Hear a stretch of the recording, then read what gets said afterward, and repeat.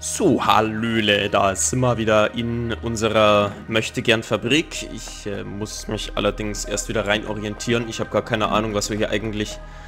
Ah ja, genau, die Flugzeuge. Ich habe ja die Flugzeuge gebaut. Damit werde ich wahrscheinlich einen Haufen Viecher ärgern.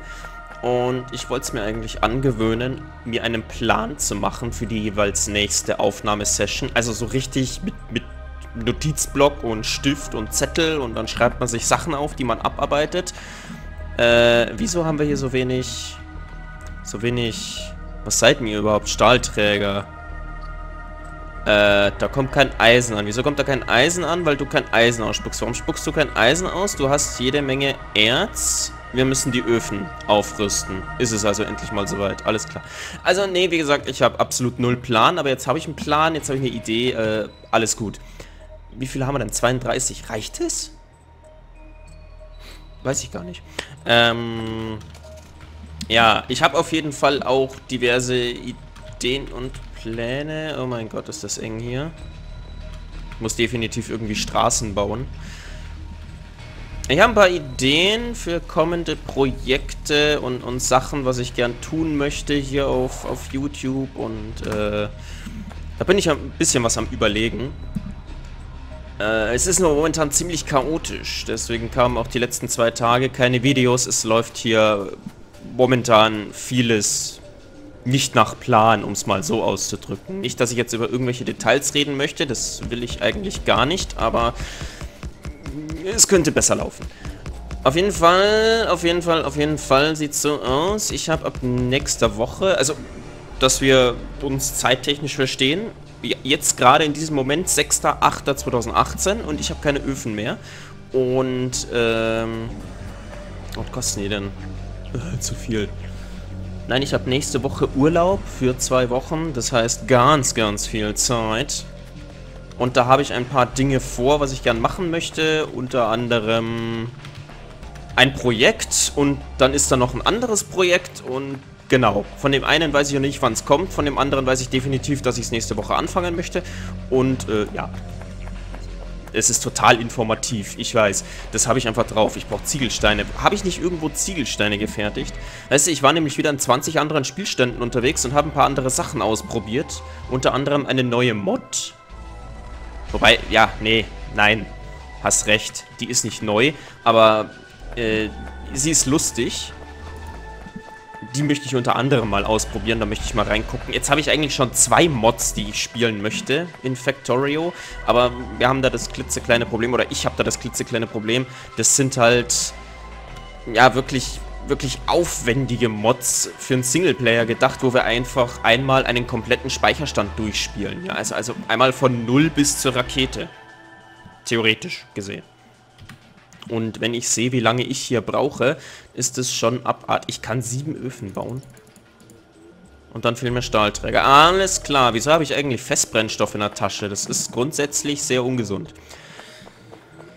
Äh, ja, nee, was ich machen möchte, also, also was ich definitiv machen werde in, in meinem Urlaub, ja, ich werde mir mal so ein Video angucken von äh, einem äh, Mist, jetzt, jetzt ist mir das, das Wort entfallen, der Begriff entfallen. Einem Speedrunner, genau. Ich werde mir mal Videos angucken von Speedrunnern, weil ich da gesehen habe, dass es Leute gibt, die Factorio innerhalb von zwei Stunden durchspielen. Oder, oder waren es drei Stunden? Anyway, ist völlig egal, ob zwei Stunden oder drei Stunden, ja. Zwei bis drei Stunden. Factorio ich bin jetzt hier in der, ich glaube, neunten Aufnahmesession. Wenn du sagst, pro Aufnahmesession in der Regel zwei bis drei Stunden, das Ganze mal neun, dann sind wir mindestens bei 27 Spielstunden. Gab es nicht eine Möglichkeit, dass man, dass man das hier irgendwo äh, anzeigen konnte? Einführungen, Züge, Errungenschaften? Oh mein Gott, wo war denn das? Ich konnte doch irgendwo bei einem Spielstand... War das hier? Ah ja, genau, hier, Survival LP. Spielzeit 28 Stunden und 40 Minuten. War ich gar nicht so schlecht mit meiner Rechnung. Ja, 28 Stunden. Und jetzt guckst du mal, wo wir sind, was wir haben. Das ist, das ist noch nix. Das ist immer noch nix. Ich habe noch nicht mal eine zweite Basis errichtet. Ich wollte eigentlich, äh, ja, okay. die Dinger da unten werte ich nicht wirklich als Basis. Das ist einfach nur eine Mine, die äh, zu einem Drittel nicht arbeitet, wie ich sehe. Aber, oh, ah, ah, ah, ja genau. Ich wollte da unten blaue Fließbänder hinsetzen. Richtig. Habe ich die nicht irgendwo fertigen lassen? Die, die habe ich doch mal... Die habe ich doch automatisiert, oder habe ich das geträumt? Ah, nee, Tatsache, ich habe sie ja automatisiert. Da kommt kein Schmiermittel an. Und da sind auch keine Dinger drin. Wieso kommt hier kein Schmiermittel an? Was ist da los?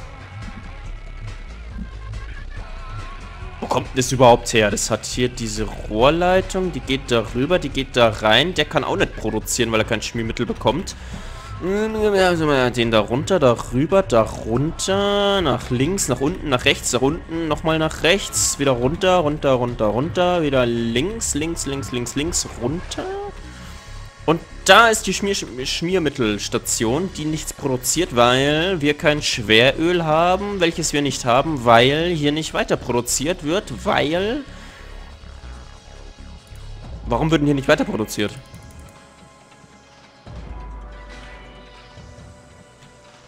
Wir haben hier gar nichts. Hier, hier ist überhaupt nichts vorhanden. Wir haben kein Rohöl, wir haben kein Gas, kein Alkangas. Wir haben nichts. Hier ist nichts. Wo ist denn der Zug? Der hängt da unten rum. Ach Gott. Ach Gott, der wartet hier seine 30.000 Jahre darauf, dass er aufgefüllt wird. Warum? Wo sind wir denn hier?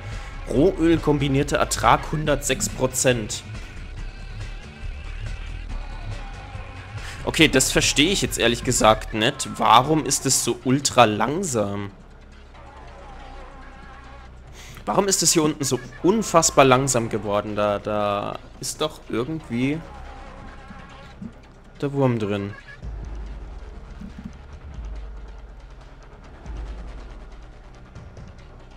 Er sagt mir hier eigentlich zwei Tropfen Öl pro Sekunde. Ich schätze mal, dass das Liter sein sollen. Hier kommen aber nur 0,3 an.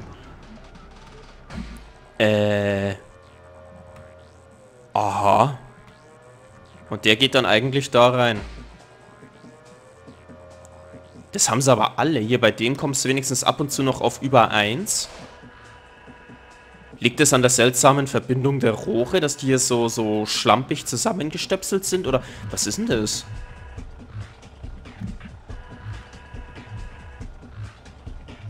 Ich bin verwirrt. Ich bin sehr verwirrt. Also auf jeden Fall... Warte mal, wir haben ja blaue Fließbänder. Habe ich noch mehr blau? Oh ja, ich habe noch mehr blau. Okay, pass mal auf. Wir machen jetzt erst einmal unsere Erzversorgung da unten.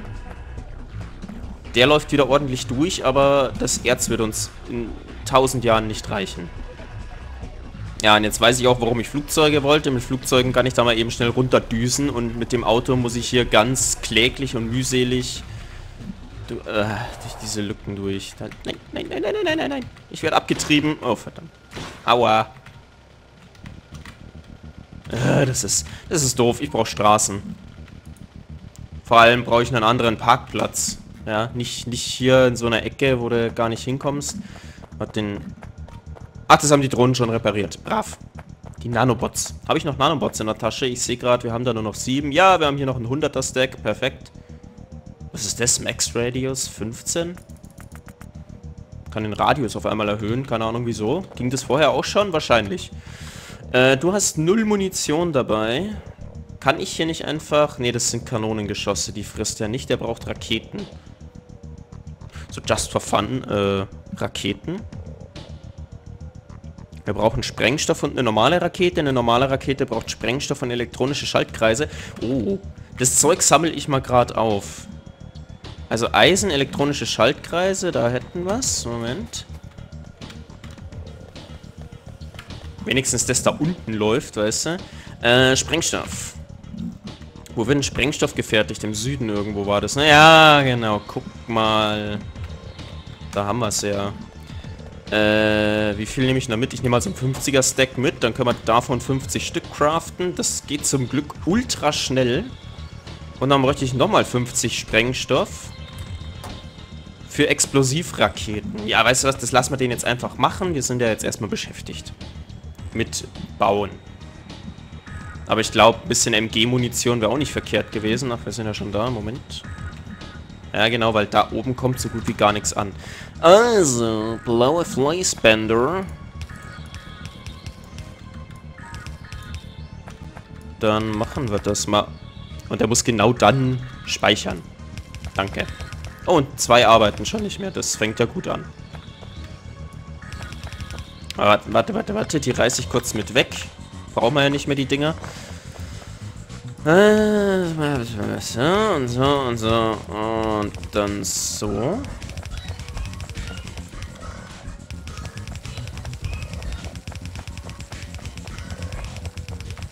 So. Naja, gut, äh, so richtig durchkommen tut es natürlich nicht. Ach, weil das da hinten nicht wirklich nachkommt. Da habe ich noch nichts abgegradet. Ja, genau, da haben wir noch die roten. So. Äh, dann mache ich mal... Ich hätte von unten reinlaufen sollen, ich Idiot, nicht von oben. Jetzt dauert es extra lang.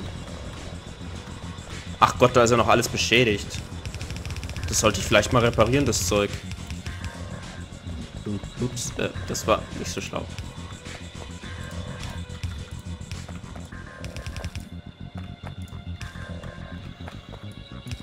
Kann ich hier außen irgendwie... Ja, komm.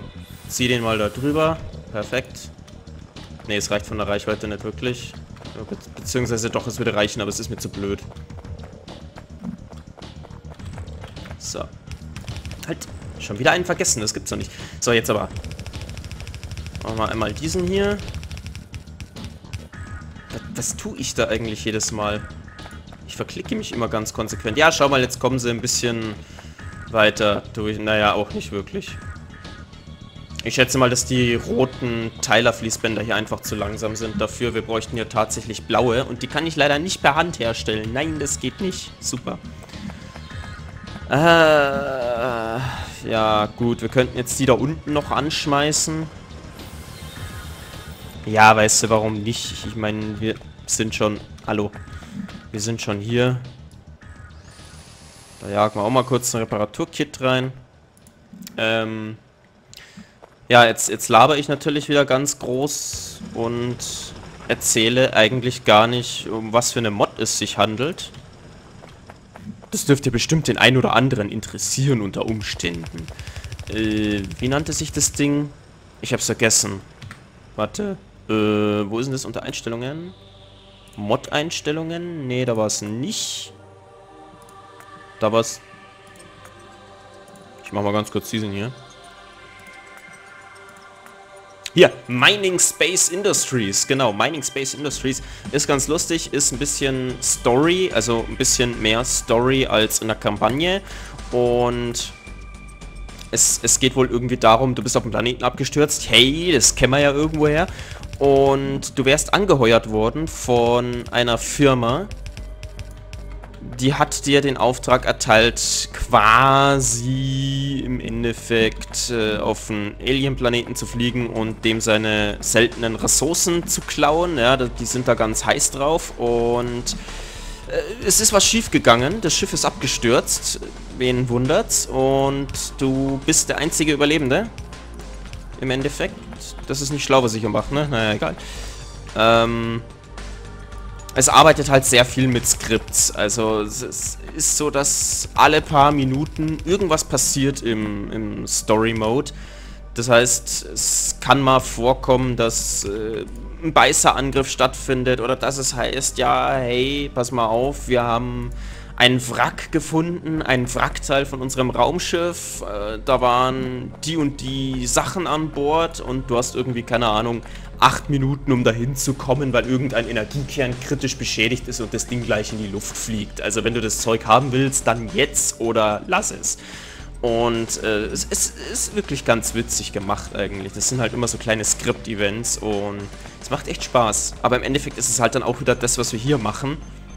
Nur du, du kriegst halt dann schlagartig, meinetwegen taucht da ein Raumschiff-Wrack auf, wo es heißt, ja, da ist unsere ganze Militärtechnologie an Bord gewesen und wenn du das Ding aufknackst, dann stellst du fest, das sind einfach mal ein paar tausend Magazine mit panzerbrechender Munition und Landminen und Raketenwerfer und hast du nicht gesehen und da hast du vielleicht gerade mal angefangen, deine erste Schwelzstraße aufzuziehen.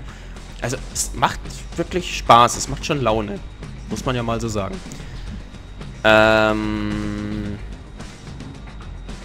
Haben wir hier blaue? Expressfließband, der Tatsache, aber der kommt trotzdem nicht hinterher. Haben wir echt so viel Eisenerz mittlerweile, dass wir hier oben... Achso, das wird ja gar nicht, das wird ja gar nicht genutzt. Das steht ja alles. Hier oben steht auch alles. Oh mein Gott. Ja, wegen denen. Wenn, wenn die weiterlaufen würden, dann würde hier das Eisen wenigstens ein bisschen weggehen. Äh, okay. Was ist denn das für eine rote... Ah! Ah, ja. ich habe darauf gewartet, dass das passiert. Ich habe wirklich darauf gewartet, dass das passiert. Äh, halt, halt, stehen bleiben, der Waggon ist... Ach, leck mich. Ähm, das ist natürlich super. Kann man sagen, automatisch, geh mal zur Raffinerie, dann fährt der... Das muss ich irgendwie noch anders lösen. Aber interessant, dass die Züge einen Crash überleben. Das ist schon mal gut zu wissen. Siehst du, ich habe mir das Tutorial mit den Zugsignalen noch nicht angeguckt. Also, Schande über mich. Habe ich wirklich noch nicht. Es tut mir leid, ich hol's nach, versprochen. Ciao, ich habe jetzt einen Urlaub, habe ich jede Menge Zeit dafür, kann ich das gleich machen. Oh, das ging jetzt aber schnell. Aber wenn wir schon mal hier sind, können wir gleich mal gucken, was hier falsch ist. Weil der, der, hat gar nichts. Der hat doch vorher hat er die immer aufgefüllt und jetzt auf einmal macht er nichts mehr. Das check ich nicht so ganz. Was passiert, wenn ich die einreiße, die Dinger? Wenn ich die einreiße und einfach neu platziere. Ich habe doch in... Äh, in der Kampagne war es, glaube ich. Da hatten wir doch auch so einen Bug. Sowas ähnliches, wo sie irgendwas geskriptet haben mit, mit, mit, äh, mit der Energieversorgung, was dann überhaupt nicht funktioniert hat am Ende und das hast du einmal abgerissen, neu platziert und dann hat es geholfen, aber das hier scheinbar überhaupt nicht. Okay. Faszinierend. Ich habe doch meine 100 Raketen. Pass mal auf. Ja, der wertet die da unten also nicht als Inventar, wenn ich die... Oh. Oh, wir brauchen sehr viel mehr Sprengstoff dafür. Okay. Äh, ja, das ist seltsam. Warum... Warum füllt er den nicht auf? Ich meine, wir haben auch noch einigermaßen. Heißt 106% kombinierter Rohölertrag. Klingt für mich jetzt nicht unbedingt nach wenig. Das finde ich ein wenig seltsam. Oh mein Gott, das will ich gar nicht sehen. Äh, das ist schon ein bisschen seltsam. Was pumpt ihr denn da gerade rein? Nichts, weil ihr nichts habt. Hier steht 0,0 Rohöl. Die pumpen alle drei nix. Warum pumpt ihr alle drei nicht?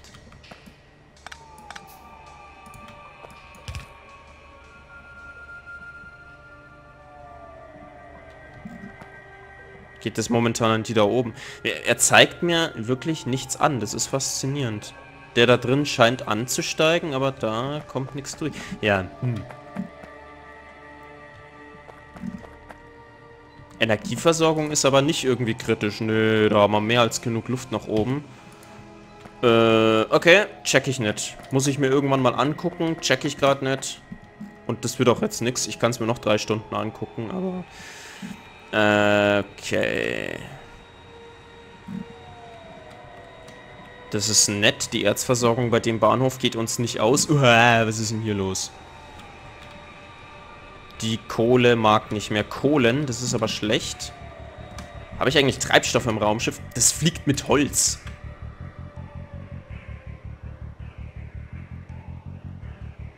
Auf der anderen Seite, warum eigentlich nicht? Weißt ich meine, wozu? Wozu jetzt auf Treibstoff umstellen? Klar, du kriegst einen Geschwindigkeitsboost, ja, das, das ist mir tatsächlich auch bekannt. Mag man gar nicht für möglich halten. Aber im Endeffekt, warum? Wir haben so viel Holz, ich weiß nicht, was ich damit anfangen soll. Ja, ich weiß, ich soll aufhören, die ganzen Bäume alle abzuholzen, weil umweltschädlich und grüner Planet, bla bla bla bla bla. Es ist nicht die Erde. Muss ich jetzt mal so ganz bösartig sagen. Es ist nicht die Erde. Wobei wir teilweise mit der Erde tatsächlich genauso umgehen, was eigentlich eine Frechheit ist, also so gesehen. Ja, ich weiß, es, ich, ich mach's nicht mehr. Ich mach's nicht mehr, es ist unsinnig, Bäume braucht man. So sehr ich sie auch hassen mag, ist okay. Ich mach's nicht mehr, versprochen. Es sei denn natürlich, da wäre jetzt bei irgendeinem Großbauprojekt zufälligerweise ein Wald im Weg, ja, dann muss der natürlich da weg. Also da, da führt dann gar kein Weg dran vorbei, das ist ja wohl hoffentlich klar.